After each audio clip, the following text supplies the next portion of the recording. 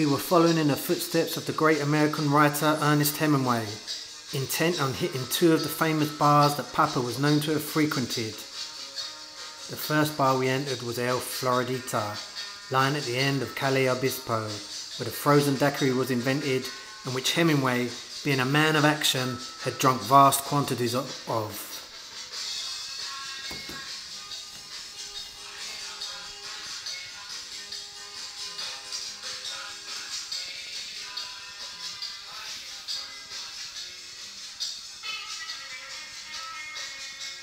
Nice.